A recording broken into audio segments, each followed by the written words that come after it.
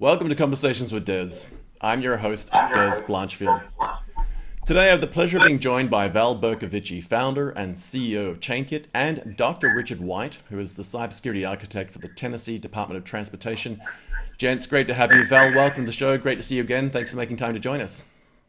Pleasure. Thank you for having us. And Richard, we really appreciate you making time to join us. I'm really looking forward to hearing about your uh, your fun challenge and solution. Uh, today, folks, we're going to have a conversation around uh, Tennessee's Department of Transportation's need to address the challenge of cybersecurity log integrity, and in particular, how ChainKit addressed that need to, uh, as Val uh, paraphrases it, guard the guardians, which I love. That's going to be the title of our video, I'm sure. Uh, Dr. Richard. By the uh, way, those are you know for attribution. Those are Richard's words. That's why I love them. It's you know, my customers' words are always better than mine. So. I love it. Fantastic. Well, on that note, uh, Richard, I wonder if you, you could start us off uh, by giving us a brief summary of the challenge you faced uh, to implement uh, this integrity solution, and in particular, how you came to partner with ChainKit to address it. Yes, there was for federal uh, Highway Agency, uh, FHWA, they had completed an executive uh, summary that they wanted the traffic management centers within the states to have center to center connectivity.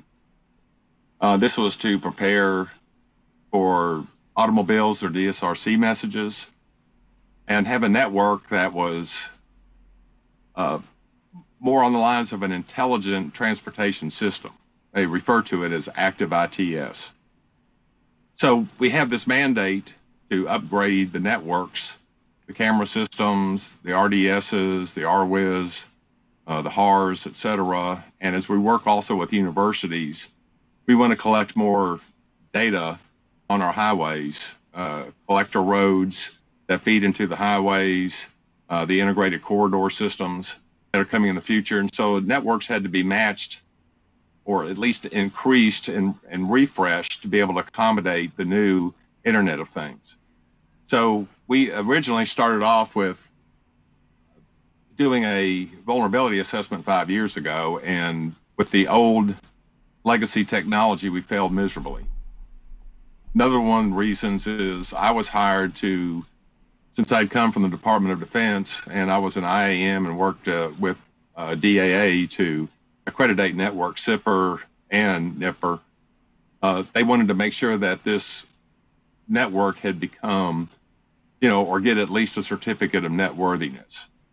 So we we implemented FISMA reporting and the NIST Special Publications 800 series and started doing our vulnerability assessments. As a result, failing those vulnerabilities, we were able to purchase brand new equipment and we refreshed the network, and now we have a lot of the latest, greatest uh, technology at the endpoints that we have where we have our cameras and other sensors uh, for our fog zones, uh, for traffic control, digital message boards. And that has to be protected because it's embarrassing once your DMS board pops up something other than something that is related to traffic. So we needed something, a network that uh, had telemetry monitoring uh, that software defined, that uh, understood context awareness, and was growing towards the Internet of Things, and it needed to be protected. And so, of course, like many of the other uh, cybersecurity uh, architects, managers, uh, directors, we center around the CIA triad the confidentiality, integrity, and availability. Well, the attack on availability is denial of service, a D word. Same thing with confidentiality. The attack on that is disclosure, another D word. Integrity is dishonesty. Integrity actually is the cross examination to the other two. You don't know if you have a confidentiality breach. Most of the time, availability is obvious because, you know, there's a denial of service. You're not getting serviced. But sometimes that comes from patching and doesn't necessarily have to come from evildoer. And the whole idea of this was to have a network that was uh, effective to be like an anonymous veto type network situation, where whereas the other three and other products that particularly look at one another and the devices on the network, that they guard each other. Because if you're only using one, and not at least three, you won't have that triangulation. One thing ChainKit did very well was they're excellent with the integrity portions, which are more mathematically intensive than the other two. And we need something that is going to be that, you know, that cross examination, that interrogator, to be able to look into the other three and make sure that our logs that we're logging, our syslogs, have integrity. We don't want a Stuxnet. We don't want somebody telling us our centrifuges are fine, but they're not. So we brought in ChainKit along with several others, Splunk, uh, Forescout, several, because they all interface with each other and they all work in the same triangulation type. We had several security product, products, including Illusive and Darktrace. And we've put these all strategically together so that they're talking to each other. And then as a result, you know, ChainKit can pretty much sit there along with Identity Services Engine Cisco can say, I vote that this person goes into the quarantine VLAN and we're going to monitor them and we're going to do forensics. We're going to do a live investigation, but we're not going to do anything to affect production. So we're using these to guard the guards because a lot of times, yes, the guards guard the king, but then who's guarding the guards to make sure that the guards are guarding the kings? Because we want those prized possessions protected. So we ended up, uh, once we brought ChainKit in along with these other products uh, with Dynetics out of uh, Huntsville, Alabama, we did a adversarial simulation and wanted to see how well all these products work together to detect. And believe you me, even though every one of them are fantastic as standalones, when you put them all together, you're gonna you know, there's no more zero day. I mean, you you got it. As soon as it as soon as it is on your network, you see it. One of one of the adversarial simulations we did was we had made an attachment that someone had opened uh, that was a part of an email attachment that uh, gave them $100 free Chick Fil A when it was open. Of course, that's where we did all the launch vectors and lateral. I click on that. Yeah, I know. I know. Same here. this Chick Fil A. You know, this is important. And uh, so as a result, we did this adversarial simulation because we were not running our own exchange services within our network. They were done by the state. And the state as a result, we were they were able to jump. They didn't get into the active ITS network because it was protected by these products, but it did was able to move into the South data centers in our state, where we did have some of the administrative and other TDOT uh, business applications running. So we found out that yes, this is very important. If you have a critical infrastructure, this is what you want to do. You want guards guarding the guards. That means that you just don't select one product out of three in the bid. You get all three of them. If they can work together, we want all three of them. Hmm, I like it. Sounds like a fantastic challenge. It reminds me of the classic Latin challenge uh, phrase that we all would have learned at school. Uh, qui custodi di ipso custodi. Who watches the watchers? Val, I believe right. you've already implemented a successful proof of concept at this stage uh, for this amazing undertaking.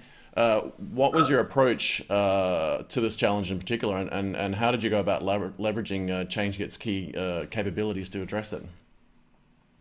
Yeah, you know, we're back to what Richard said. It's one thing to think intellectually or academically about this. It's another thing to think and act adversarially. So at ChainKit, we'd always had that adversarial mindset and the technical skills at the lowest levels, you know, computing can go pretty deep nowadays in terms of the foundation layers we depend on. Also had that skill set of here is a known attack vector. Right. Here are known vulnerabilities in systems. And particularly when exploited, there's no alert, there's no flash, there's no alarm, there's no, no wire to trip. They're very stealthy and visible ex, ex, you know, exploitations of these vulnerabilities. Uh, and we'd always known these were risks and threats and they got exposed through the COVID era of 2020 through ransomware. Very much, a lot of actors operated with impunity invisibly for months until the extortion demand was very publicly presented to their victims. But we wanted to try and see how we could apply this again outside of just a ransomware theme or scenario. And with these operational networks that were presented to us with the Tennessee Department of Transportation, we call it TDOT for short here, uh, that was an ideal opportunity to just prove the concept that the risk, you know, as Richard articulated so well, of these solutions is not mitigated by one or even defense in depth combination of solutions if you don't have that defense in balance of the CIA triad, if you don't have solutions representing, as Richard said, every one of those three pillars of cybersecurity, you've got partial security, which we all know in the real world means no security. So that was the approach we took. December 13th, of course, changed the world for us in the industry where a lot of these academic concepts and general awareness of the risk of integrity breaches, be it for software supply chains or identity breaches, became very visceral and real. And they've since really been very top of mind discussions where everyone has been reminded of, and, and I think, well, you know, uh, I think the reprioritization has happened where you can no longer ignore one of these pillars of cybersecurity. Integrity, in combination and balance with your other cyber risk mitigations, has to be front and center now. Uh, absolutely. No, I couldn't agree more. Uh, Richard, I, I, understand that you had a third party undertake a simulation as part of this project to uh, validate uh, the underpinning solution that implemented by ChainKit. What can you tell us about that? Yes, we did a strategic controls assessment again with that same group, Dynetics, out of um, Huntsville, Alabama. And part of that was uh, also adversarial simulations. And once again, and it also happened again, as uh, I think you know, here I'm in Nashville, but we all heard about the Christmas bombing. Indeed. Active ITS services. I'm not saying state services. I'm talking about what's specific to transportation on our highways and roadways. Right. Never lost services, and we use AT&T TenNet as a separate service for us, dedicated towards us on MPLS. Okay. So as a result, you see what I'm saying? You know, we, as an active ITS network, didn't lose any services. Sure, they lost email to the state, and they lost some other, you know, uh, they lost some other services, but the basic services that save lives were up and running. Yeah, I guess no one minds not getting an email about their uh, lunch meeting, but uh, the likes of AT&T's FirstNet and other critical infrastructure uh, remain in place, and this is where you yes, then sir. still have to make sure that your data is okay and that you're not uh, impacted as a part of the flow on. Exactly. And then shortly after that, I mean, I think we're all aware of SolarWinds. We use SolarWinds, but something that in security you're not supposed to do, we didn't upgrade. Right. So, as a result, you know, I mean, that was a blessing. uh, uh, and I thought it was interesting. And sometimes a lot of people patch, patch, patch, patch, patch, and one thing we did in the Department of Defense and the SIPRNet side is there was product out there that had never been upgraded. Right. So we knew it was working, and we knew what normal was. You know, I mean, you and you challenge and use total quality management to find out what is your common causes and your special cause variations. Once you get a good telemetry of your network, why do you want to change it? Yeah. How do you? The patch wasn't, you know, I mean, full of some type of integrity attack. So a lot of times uh, the military handled that by, of course, taking uh, those common vulnerabilities and exposure CVEs and making what was known as IAVAs. Yep. And there was a lot of product that was commercial off the shelf that we didn't use. And so we're trying to treat a lot of TDOT systems that way, more as these are tactical computers and not something that's not a toy. We're going to treat it as a weapon because if we don't clean it and look at it and handle it correctly, you see what I mean, and then point it at evildoer, uh, we do nobody any justice to let them use our computer that we think is a play toy as a weapon against us. So we also adopt that, and ChainKit and a lot of the other product out there is helping us achieve that. Yeah, allow me, if you will. I think this is a good opportunity for a mini rant on zero trust. Very much in favor of it, but the fact that people are very, I think, myopic in terms of how they implement it. So the core concept we all know very well explicitly verify before trusting something. And it's being applied from a vendor perspective very, very liberally now by customers for access, the outside in approach to zero trust. Make sure that anyone from any device, we're always having the identities, the devices, the custom network segments we create to the resource being requested. Very much zero trust access is, is doing well in the marketplace right now. But what Richard just described and what SolarWinds exemplifies is the uh, other end of the coin, the other side of the coin, which is the inside out versus outside in zero trust model, where all these core services, third party vendors and others that we're blindly trusting and depending on today shouldn't be that way. We should be explicitly verifying these core services we depend on just as much as we verify what's being, you know, what's accessing those core services. Right. And the, the, the inventors of zero trust, John Kindervag and Dr. Chase Cunningham, have this definition called zero trust extended, ZTX, which covers it. And my personal rant is let's see more ZTX used in the marketplace to complement the success of ZTA today.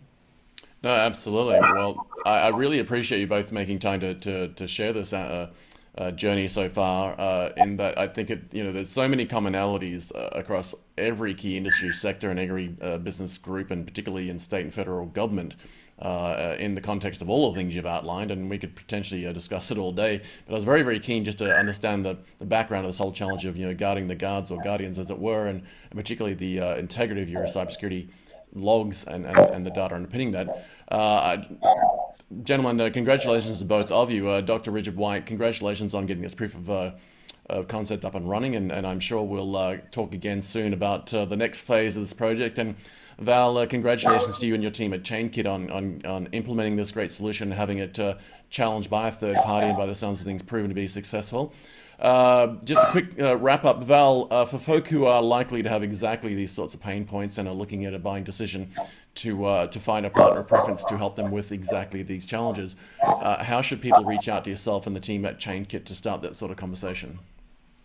Well, since nobody uses a phone anymore, you know, hit up our website. You can certainly email me at valb at chainkit.com. The website I'm pretty prolific on social media, you know, on Twitter, if you don't mind a lot of Twitter rants, or LinkedIn, where we keep it professional, very easy to reach, and uh, looking forward to engaging in the conversation. Fantastic. Well, uh, Richard, thank you very much for your time. It's been great to uh, see you, and I'll look forward to having you back on the show again soon. Yes, thank you, Des. Appreciate it. And Val, as always, it's an absolute pleasure seeing you and hearing uh, the amazing wisdom that comes from you on every one of these key challenges. And uh, we'll look forward to having you back again soon as well. Can't wait. And folks, we'll have more information in the show description below. We'll have links to the relevant resources and all the relevant information that uh, Val just outlined with regard to how to get in touch. Uh, I think that the key thing I will summarize here is that uh, this conversation is happening whether you join it or not in your organization. More often than not, the conversation is being held by the bad guys who are looking for vectors to get into your organization. So there is no time like the present to reach out to Val and his team at ChainKit to have a discussion around what are the issues, what are the risks, and what can they do to help you mitigate that on an ongoing basis. And in, in the example of uh, the Tennessee uh, Department of Transportation, go through, uh, I guess, a design, trial, implementation, proof of concept, challenge that, and then and then put it into production. Uh, make sure you do reach out sooner than later to have that conversation because nobody wants to be on the front page of any uh, media for these very reasons. But more importantly, we just want to keep our world around us safe. Uh, thanks for tuning in, folks. Uh, please do reach out to uh, Val and his team at Chain. Can have the conversation sooner than later, and we will look forward to you placing any questions you have in the comments as well. Join that conversation on social media and follow uh, both gentlemen. We'll have those links as well, and we'll see you in the next video. I'm Des Blanchfield. Thanks for tuning into Conversations with Des.